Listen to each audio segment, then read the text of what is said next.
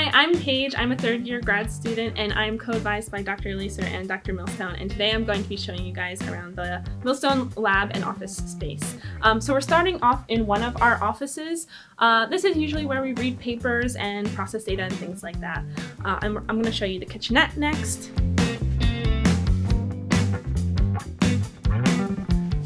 So this is our break room and kitchenette. It's where we come to have lunch.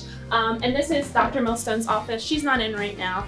Uh, we also display our papers throughout the years on our walls to, just to remind us and be able to look back at some of the things that we've done in the group.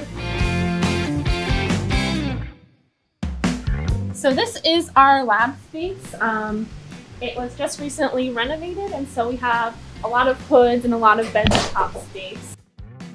And here we do a lot of nanoparticle synthesis and characterization. So at the nanoscale, the um, chemical and physical properties are dependent not just on the chemical composition, but also the size and the shape and even the surface composition of nanomaterials. So here I have uh, four different solutions of gold nanoparticles. They have the same composition, but they're different sizes, and you can see that their color changes. Um, color is actually a really good indicator of aggregation in size in nanoparticles. So we actually do uh, UV-Vis spectroscopy uh, to try and characterize some of that.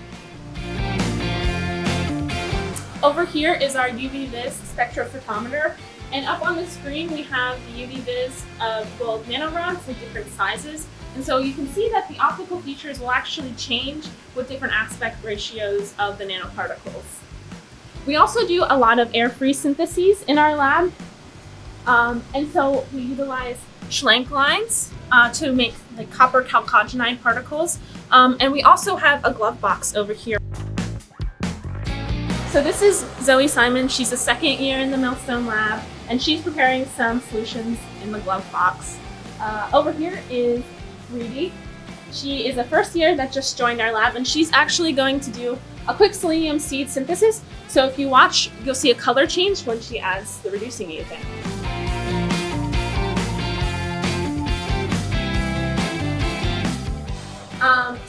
Addition to nanoparticle synthesis, we also do a lot of characterization.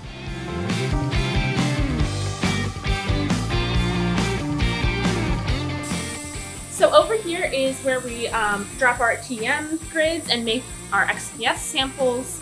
Um, and then we usually take them to the electron microscopes where we're able to see the particle shape and the size.